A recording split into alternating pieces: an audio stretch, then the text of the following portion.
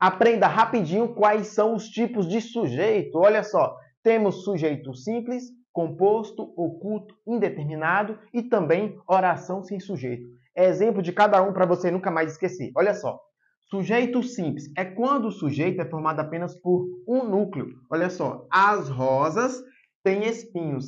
Veja que aqui ó, a palavra rosas, aqui que está no plural, as rosas, eu tenho aqui apenas um núcleo. Um núcleo.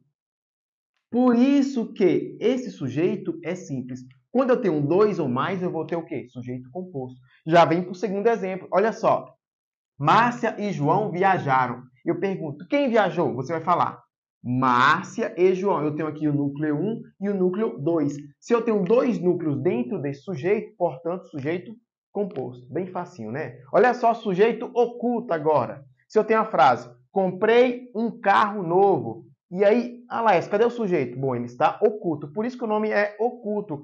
Como é que eu vou saber o sujeito? Pela desinência verbal. Comprei um carro novo. Só pode ser quem? Eu. Eu comprei um carro novo. Neste caso aqui, quando eu tenho um sujeito, mas ele não aparece na estrutura, sujeito oculto. Perfeito? Agora, olha só. Sujeito indeterminado é quando alguém praticou ação verbal, mas eu não consigo identificar pela estrutura. Olha só o exemplo.